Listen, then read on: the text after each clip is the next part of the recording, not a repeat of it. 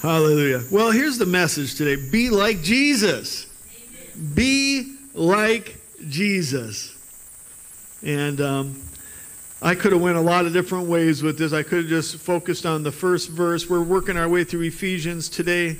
We've finally made our way to chapter 5, Ephesians chapter 5. Two more chapters left. I was looking at it the other day as far as the sections, unless the Lord directs me otherwise. We got about approximately about nine weeks left in the book of Ephesians, and then we're going to move on to something else. But um, that's approximately how many sections I didn't. You know, it's funny. I actually there's some pastors that are so organized, and um, that's normally not me. This is the first time, to be honest, that I've done what's called an expository series straight through an entire book. Um, but I've talked to pastors; they got like a preaching calendar figured out for like a year and a half, two years, or this is what I'm going to be preaching on for the next two years. And to me, I'm like, how could you do that? And their answer, thankfully, was good. It was like, well, I keep I keep margin in there for if the Lord interrupts me and says go a different direction. Don't get me wrong, but this is my plan if the Lord shouldn't, you know, give me a specific direction for this week. Or is that I'm working my way through this, then I'm going to work my way through that, and I'm like, well, man, you're better than me. I'm my calendar is like, what am I doing in September? you know, I'm not hard. Well, that's not totally true. We do got a missions banquet in October and a few things coming up, but for the most part, preaching wise, be like Jesus. Let's read our passage for the day, Ephesians 5 1 through 7. And it says this Therefore, be imitators of God as dear children.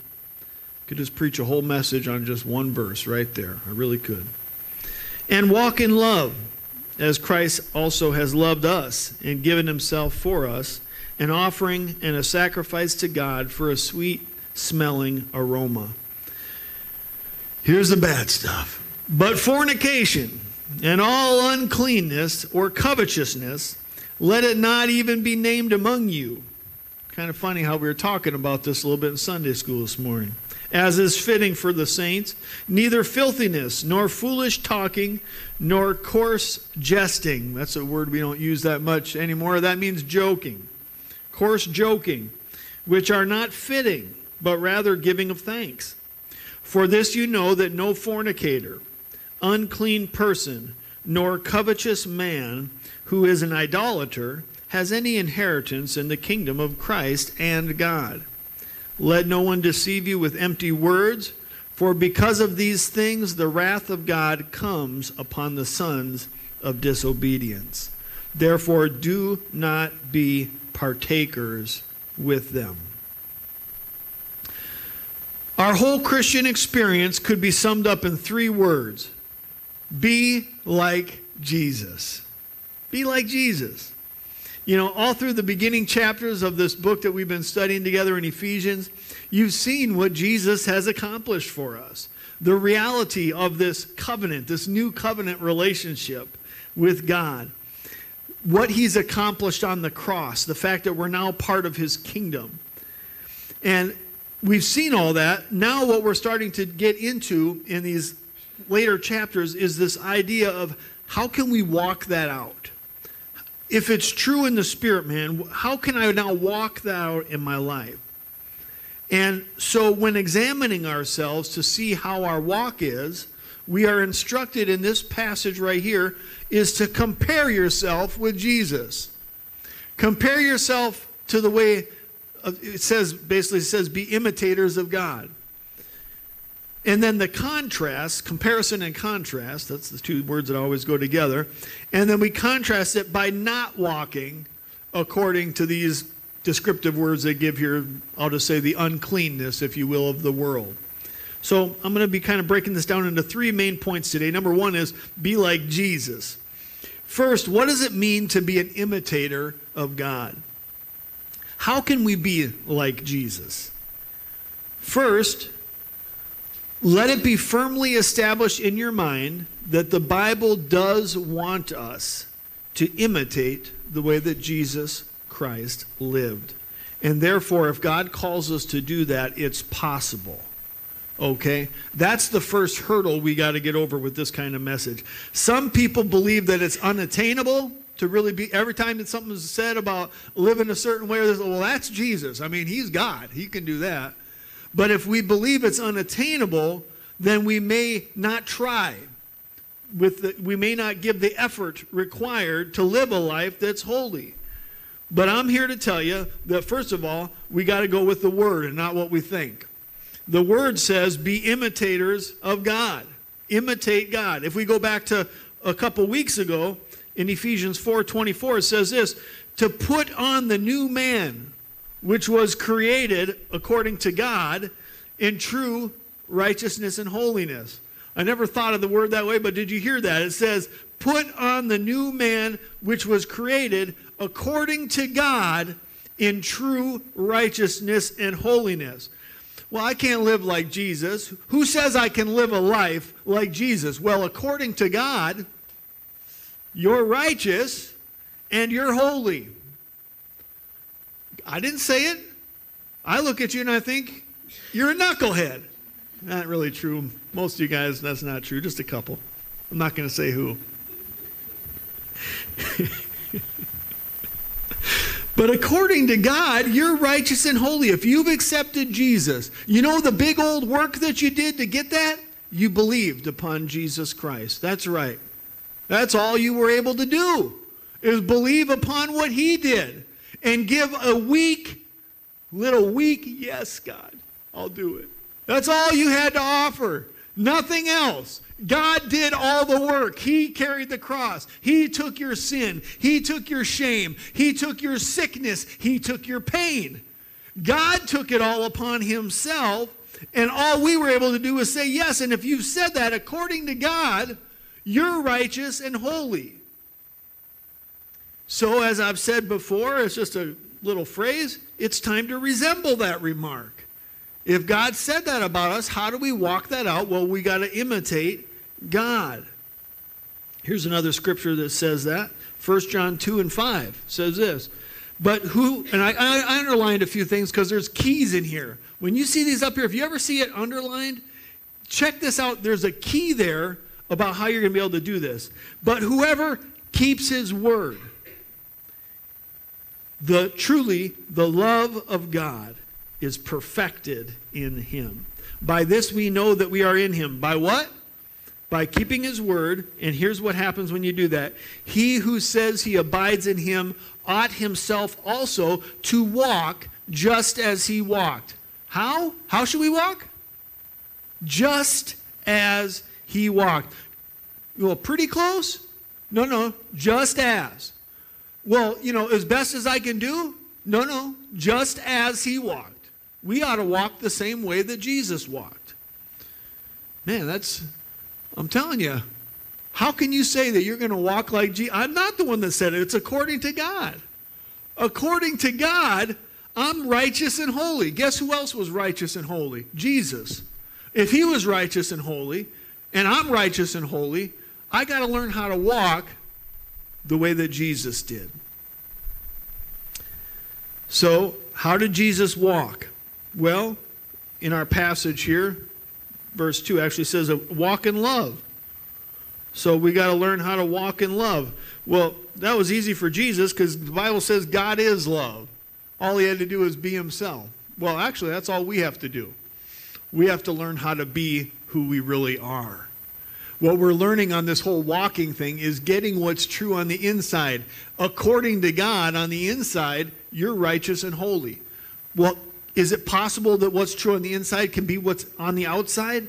Yes, that's what the Bible is trying to teach us this whole time. Put off the old man, put on the new man. The new man is the inside man, the one that's righteous and holy, just like Jesus, perfect and perfected as we've been just reading. He said, he says right here, the love of God is perfected in him. It's still up there, thank God. Perfected. I'm telling you, all we're trying to do is get what's true to come on the outside and be true on the outside the same as it is on the inside. That's all we're trying to do. I'm not trying to get you to do something like get a uh, something that's uh, should be uh, like strange to you. This ought to be the truth. So, that greatest moment, the moment where you're connected with God in worship, that moment where all you got is love for God, well, now just live that way all the time. instead of just at that moment when the music is so nice and you're just like hallelujah and tears are coming down your face whoops excuse me and all that stuff is going on. Now just be that way all the time. All the time okay? All right let's close with prayer. Just joking. Jesus' love or that love was expressed by adhering to the word of god here's how jesus did it jesus is the living word jesus is love and so he walked according to his to God's word. Interesting, I, I heard it said this way one time, being that everything that Jesus said was written, or not everything, but everything that was written became infallible scripture, right? So when Jesus was being tempted by the devil, this is just a freebie, and the devil said, It is written such and such, you know, Jesus could have said anything he wanted. He could have just said abracadabra, calicazoo, and that would have immediately been inerrant word. But he didn't. What did Jesus use? Jesus used the words that were already written. He said, It's also written. So if Jesus had to use the word in order to uh, navigate this world, if you will, then what makes us think that we can just say whatever we want and it's going to work out good for us? We got to be people of the word. Jesus walked in the word, and then he also walked in the love. He walked in the love by oftentimes saying that he was actually pouring out what he saw the Father doing, having compassion upon people. And we can do the same thing. That's why the Bible says, I don't have the scripture here, but I just I just had jotted this down. It says, He who loves me obeys my commandments. And he said, and they're not burdensome. I don't remember where that scripture even is right offhand, but somebody look it up. It's there. I guarantee it's a scripture. It said, and they're not burdensome. It is not burdensome to, to live God's way. You want to know what's burdensome? Living under the yoke of uh, addiction, living under the yoke of hatred, unforgiveness. That's burdensome. That wearies you, that wears you down. Trying to be something that you're not, that's what wears you down. You want to know what's not burdensome? Living the way that you actually are, letting the real man get onto the outside. That's not burdensome. God's word is not a list of rules, it's a person. His name is Jesus Christ. That's God's word. And God's word is not burdensome, it's true freedom. It's true freedom to walk with God the way that Jesus walked. Jesus, as our example, walked in love. Oh, there's three things I want you to get here. He walked he walked in love in his thinking, he walked in love in his speaking, and therefore he walked in love in his living. We imitate Jesus in our thinking, we imitate Jesus in our speaking, and we imitate Jesus in our living, and that's the order thinking, speaking, living. It's a little bit of a review. I just said this last week, but it's really good. Like I had mentioned on a Sunday night not long ago, we need to all be in unity as far as the Word of God understanding what the Word of God says and having good teaching in this church. It's very important. God has showed me that's part of a vision for the future is that we got to be together on the Word, mature in God's Word. But here's a little bit of review. What you think is what you're going to believe. What you believe is what you're going to say, and what you say is what you get in your life. If you want blessing, you got to speak blessing. You will never speak blessing if you're not thinking blessing. You'll never think blessing if you're not reading about the blessing. It comes in that order. It's got to be in that order. Some people think, well, I'll start living right and then I'll. No, no, no, no. Wrong. If you don't think right, you'll never say right, and your words are the, are the issues of life and death are in our words. So you think right, you speak right, you say right. This is why Jesus was able to do it because he understood who he was, he thought right, and so therefore he spoke right, and so therefore he lived right. He knew who he was, he believed it, he spoke it, and he lived it. Do you know who you are? Do you know who you really are on the inside? Not who somebody told you, not what career you're hoping to have. Do you know who you are? Well, if you do, then believe it, speak it, and live it. So, how did Jesus live? Acts 10 and 38 says this How God anointed Jesus of Nazareth with the Holy Spirit and with power, who went about doing good and healing all who were oppressed by the devil, for God was with him. So, how did Jesus live? One, he lived with the anointing. Number two, he lived with the help and direction of the Holy Spirit. This is the next slide if, if you got it there. He lived with the anointing. He lived with the help and direction of the Holy Spirit and with power, of course, because the Holy Spirit comes with power. Number three, Jesus went about doing good. Number four, Jesus healed the sick. Number five, he delivered those who were under the oppression of the devil. And 1 John 2 6 says that he who says he abides in him ought himself also to walk just as he walked. So, how are we supposed to live? With the anointing, with the help and direction of the Holy Spirit, and with power, going about doing good, healing the sick, and delivering those under the oppression of the devil. That covers a lot of territory right there. I'm convinced that the reason a lot of Christians look like the world and not like Jesus is because scriptures like this just seem too challenging or unattainable. Therefore, we just give up.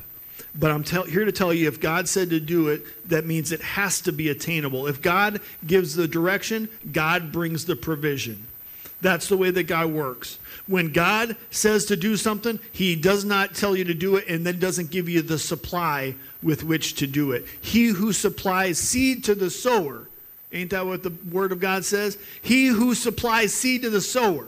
So when He tells you go out and sow, well, the seed gets supplied by, the, by God, right? And so when the Lord said, Go out, be fruitful, and multiply, there was a way to do it. You know, God, if He tells us to do something, then there's a way to do it. Now, we'll miss the mark occasionally on this walking with Jesus because we're imitating, be imitators of God. We're imitating the Master. We're not the Master ourselves. I always got to throw that in. Some people will get out of sorts and be like, Is he telling me that I'm supposed to be God? No, I'm not. Okay? But we're not the master ourselves, but we're being transformed day by day into his image. And on the inside, you are in the image of God if you're a born again believer here today. So we're supposed to imitate God, be like Jesus, walk in love, and we're not supposed to copy these behaviors of the world. And this is what I call, in this point number two, the dying saint. The dying saint. So remember, he's writing to the church in Ephesus. He's not writing to uh, a social club that he's hoping might get saved someday. He's writing to a church. Okay? So here's what he says to the church. Are you guys the church? All right. Who, who's the church? We're the church. And here's what he says to the church But fornication and all uncleanness or covetousness, let it not even be named among you, as is fitting for saints neither filthiness, nor foolish talking, nor coarse, jesting, which are not fitting, but rather giving of thanks. It sounds simple enough. Christians shouldn't be involved in fornication and stuff of that nature.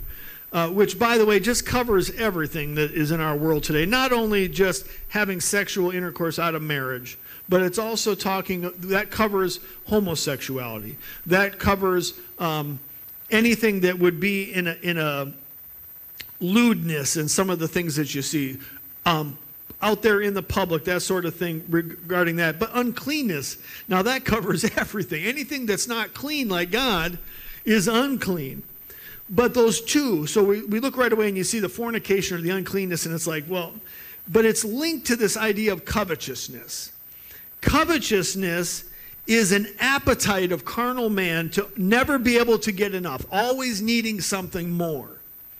You, you want to know why that's mentioned here with Christians? It's because this every person, Christian or non Christian, has something inside of us that's crying out for more. The Bible says, deep cries out to deep. The Bible says that uh, man's heart is deep waters in one passage. You know, there's something inside of each one of us. Maybe you've heard it put this way, as kind of was popular a while back. There's a God shaped hole in all of us that only He can fill. But when we don't fill it with God, we try to fill it with something else. When we don't obey God, we'll find ourselves going after other carnal pursuits. And why, are how are we supposed to be obeying God in this passage? Imitating God.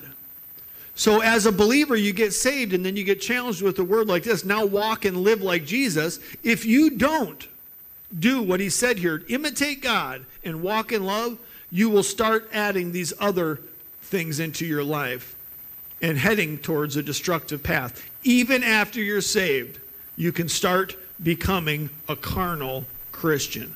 That's why over and over again in the epistles he says, get rid of this carnal mind. He's talking to Christians. Christians, put on a spiritual mind. Think things God's way. Speak things God's way. Do things God's way. Otherwise, if you don't, if you think it's unattainable, if you don't believe God and you will not obey Him, you will turn into a fornicator or an unclean person and you will begin to dabble in those behaviors. Why? Because there's something inside of us that's looking for more.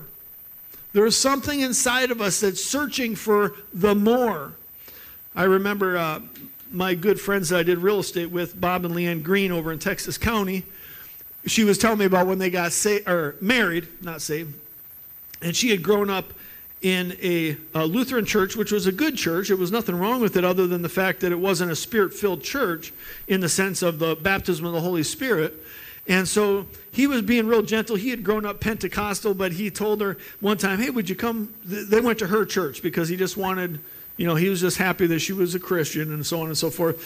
But he said, uh, he brought her to a, a, church service one time. He asked her, and they went to a, I don't remember if it was an assembly or, but it was some sort of Pentecostal church.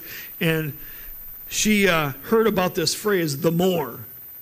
And she witnessed some working in the Holy Spirit during that service. And she, she's the one that told me the story. She said, I got in the car afterwards. We walked other. I seen people talking in different tongues. I seen all sorts of things happen I'd never seen before. And I just thought to myself, she goes, I was just thinking and thinking. She's like, finally she goes, Bob, what's the more? What's the more? And he said, Well, he goes, Why do you ask? She goes, Because I don't even know what it is, but I want it. I want more. I've always felt that there was something more than just trying to live a good Christian life. He goes, You're right, there's a whole bunch more. I don't know how Christians can read this Bible that talks so much about the Holy Spirit and just be happy with the being saved and going to heaven someday when it's filled with examples of the more. There's something deeper that God wants us to walk in. And today we're talking about being imitators of Him.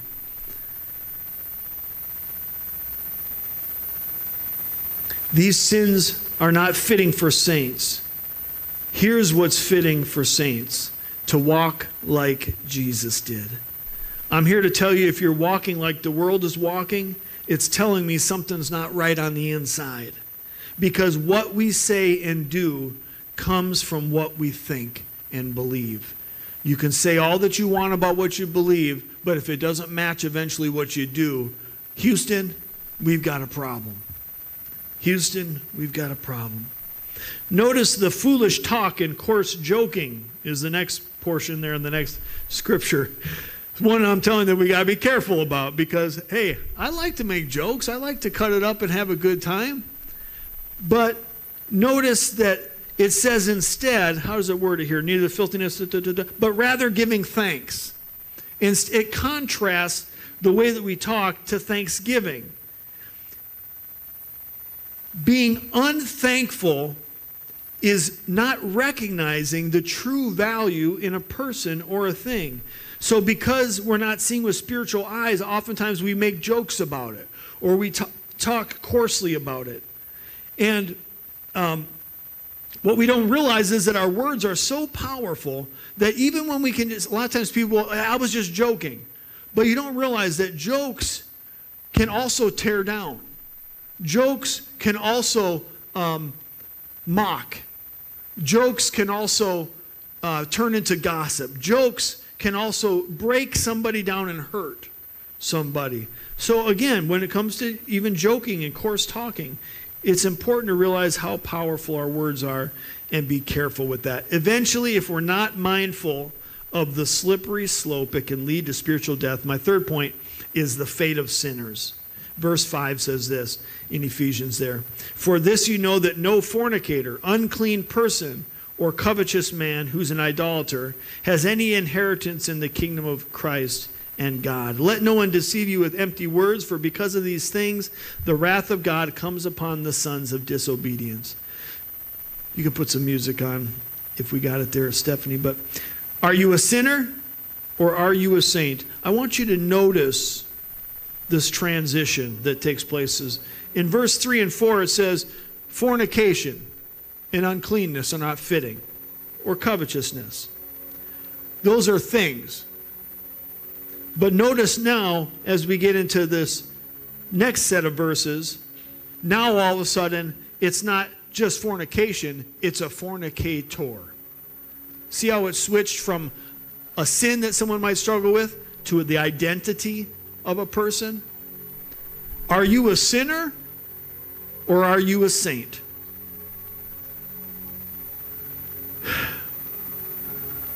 In other words, what it's saying here is that, again, remember, this is written to Christians. It's possible to start to dabble with sin, and the next thing you know, you've backslidden away from the grace of God. That's an area that has some contention within the church. But I'm telling you right now, this scripture is telling us that if you mess with fornication, you mess with uncleanness in your life, if you mess with it, and it's not brought under the blood of Jesus Christ, don't let anybody deceive you with vain words and, and make you think that you're fine. Well, I was saved when I was four and five. I, I was fine. I got saved when I was 18, and, you know, you know, it's just the, the word that people use, the once saved, always saved word. But, uh, but it's just not true. It's just not true. Here's how you can know that you can stay away from that imitate God and don't get into this other stuff. But I want to read you this. Matter of fact, I'm kind of dealing with that doctrine here today. So let's just have a time of teaching, if you will. Can you be saved and then get into sin and walk away from God? I believe absolutely. I'm not going to use the scriptures that you might have normally heard, but let me let me read you a little passage written to a church in the book of Revelation. Revelation chapter 3. And I'm going to read it in the Amplified Classic so you can see some of the, the additional words in there. And it says this And to the angel, the messenger of the assembly church. Hey, that's us, the assembly church. In Sardis, though, we're in Norwood, so we'll have to put that in there. To the assembly church in Norwood, right? If the word fits, if the word fits, just examine our hearts, look at this. These are the words of him who has the seven spirits of God, the sevenfold Holy Spirit, and the seven stars, which I know your record and what you are doing, that you are supposed to be alive, but in reality, you are dead. He's writing to a church. He's writing to a church. So, for those that are reading and are catching this, he says this rouse yourself and keep awake and strengthen and invigorate what remains and is on the point of dying. So there's some that are in reality are dead, but there's others that are on the point of dying. For I have not found a thing that you have done, any work of yours. Remember, we're talking about being imitators of God, walking in love, doing the works of God I have not found any work of yours meeting the requirements of my God or perfect in his sight. So call to mind the lessons you've received and heard. Remember the word preached. Remember what we've been training and getting taught on. Call to mind these lessons and continually lay them to heart and obey them and repent. In case you will not rouse yourselves and keep awake and watch, I will come upon you like a thief and you will not know or suspect at what hour I will come. Yet you still have a few persons, names in Sardis, who have not soiled their clothes. Let that be us. And they shall walk with me in white, because they're worthy and deserving. Thus shall he who conquers, or the person who's victorious, will be clad in white garments. And this is the part about about our eternal salvation. And I will not erase or blot out his name from the book of life. I just want to pause there for a moment. What do you blot out or erase? Something that's not written there or something that's written there? You blot out and you erase something that was written there. So, is it possible to have your name written in the Lamb's book of life and then have it erased? According to Revelation chapter 3, that's a possibility. Don't dabble with these sins. But you know what? You got no strength to do it by just trying to pull yourself up by the bootstraps. There's only one way to do it be an imitator of God, be like Jesus. The only way you can do it is be like Jesus. I'm not talking about going from here right now when you don't even know anything uh, hardly yet or really know if you're fully convinced on it and then trying to go walk on water or something like that. What I'm talking about is in his in your thinking, in your speaking, and then that'll eventually work its way into your doing. Let me finish this verse though since it's up there. I will not erase or blot out his name from the book of life. I will acknowledge him. I want to be acknowledged by God as mine. And I will confess his name openly before my Father and before his angels. He who is able to hear, let him listen to and heed what the Holy Spirit says to the assemblies of God, to the churches. I just like that in the Amplified because it happens to mention the assemblies. That's pretty cool. That's us. That's us, folks. Don't flirt with sin. I don't know who coined this, but I have heard it said sin will take you where you don't want to go. It'll keep you longer than you want to stay, and it'll cost you more than you want to pay. Verse 6 back in Ephesians says, Let no one deceive you with these empty words for because of these things, sin, the wrath of God comes upon the sons of disobedience. Kind of back to our Sunday school lesson this morning for those that were there. Therefore, do not be partakers with them. Don't be partakers with them. Are we called to be the judge, jury, and executioner? No. But we are called to be a referee once in a while.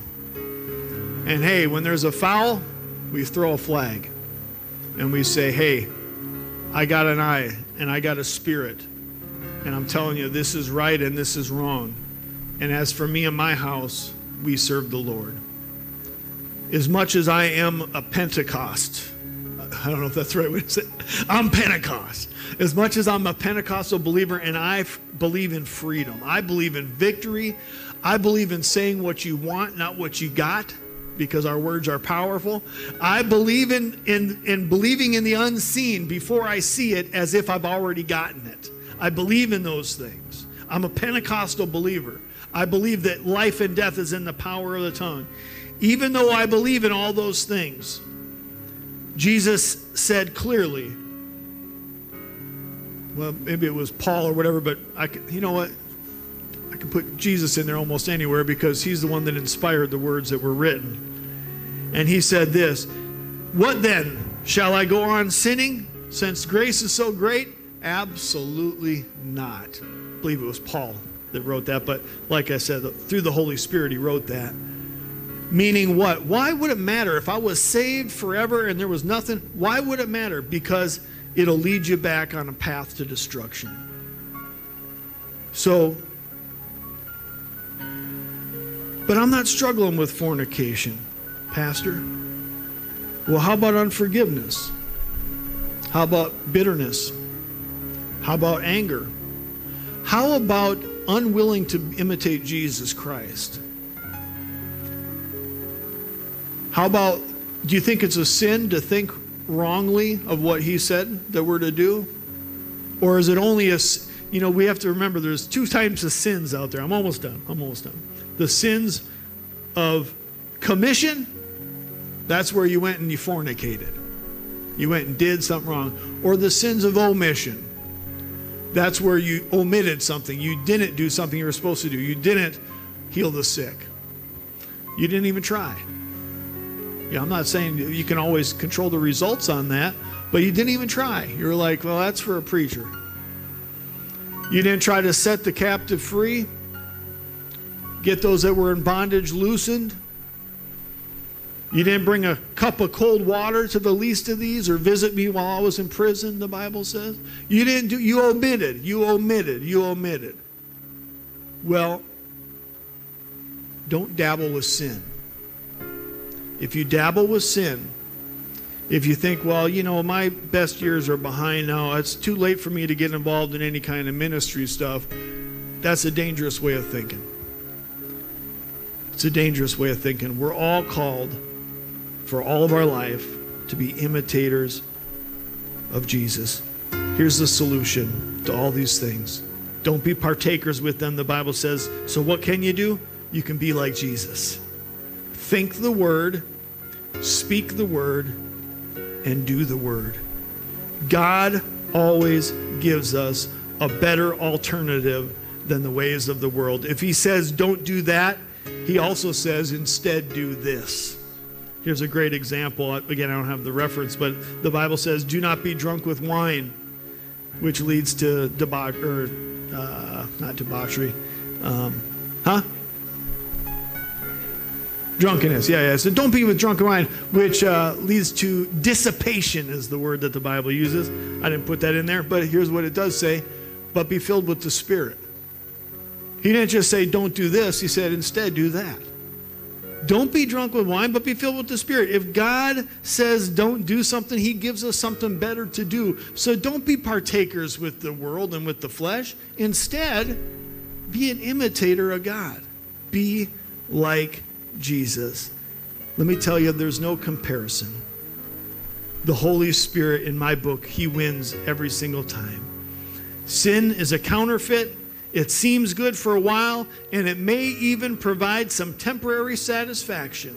But in the end, the Bible says it leads to death. And then there's the truth of God's Word, which will never disappoint, it'll never fade away, and always leads to eternal life.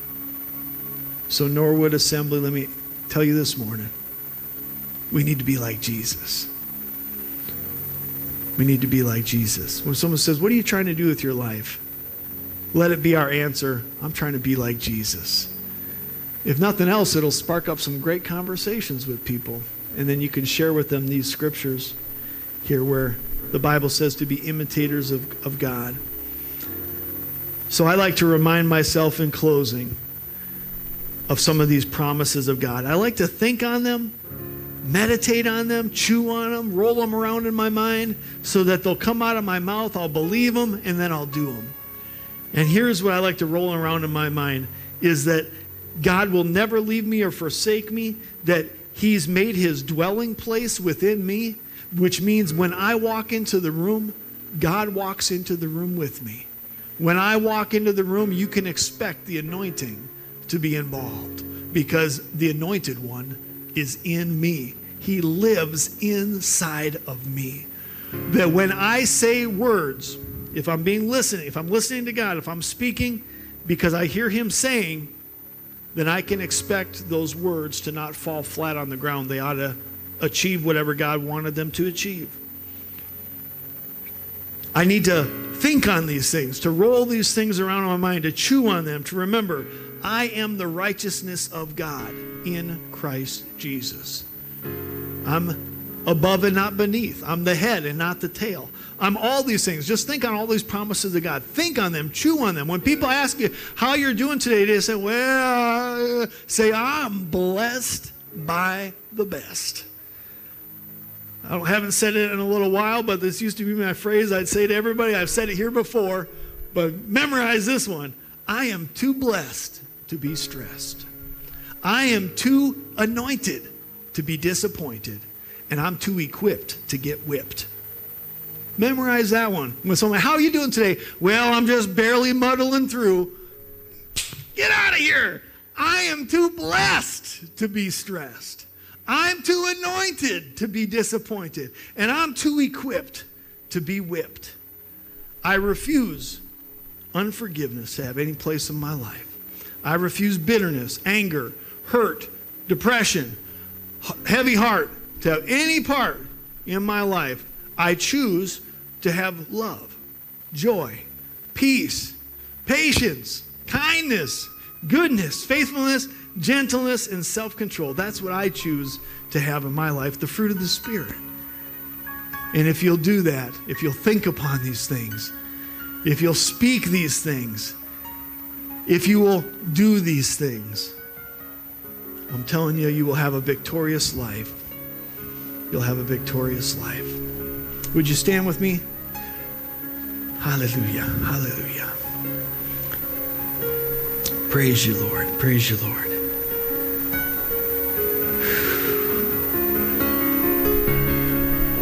How many in here listen to any Christian television or any hear any prophetic words online or is there any podcasts and other things? Anybody in here? I want to tell you, I have a little variety. I hear little tidbits, but probably more than a dozen or more different ministers that have been that are very uh, good brothers that are dependable. And I'm telling you, there's a word that's going around in the spiritual realm. There's a word that's going around in churches all over the place, and that's this before the Lord's coming, which is very soon, very soon, God's going to have another great revival. There's going to be a billion or more souls that are going to be saved. There's going to be miracles, signs, and wonders that are going to be working like it's the day the, the book of Acts chapter 2 all over again. And it's going to be a bigger awakening than the first and the second great awakening. This third great awakening we're going to have is something the world's never seen before. Norwood, we got to get ready to be a part of that. And that's what I'm uh, aiming my heart towards is this great move that God is doing. It's got to start in here, but it needs to get out of here and work its way out. Let me pray for you here, but I want to encourage you. We are, some of these songs are, we have a lot of good songs, and they, they'll talk about, oh man, I can't wait to get out of here and get to heaven. Anytime I see those, I'm like, I have to do a check in my own spirit. In church, I got to go, Lord, I disagree with that song for a moment here because I, yeah, I am excited about heaven and I'm ready to go right now. If Lord wants to take me right now, there's nothing holding me back. I'm ready to go. I want to be with Jesus. But here's the truth I am with Jesus. He's right here with me and He's got a work to do on this earth. And there's only one way for Him to do it it's with His hands and His feet. That's you and that's me. We've got to be the catalyst that's going to usher in, if you will, this third great awakening. And so I'm thinking, I don't want to be so heavenly minded that I'm of no earthly good, if I could say it that way. God has a work for us to do right here. Let's be mindful about that. Let's be thinking about that. Don't worry. When it's your time, you'll go straight to the side of Christ. You'll be right with Him. No problem. But right now, there's a hurting world that needs us. And we need to resemble this victorious bride that the Lord's coming for.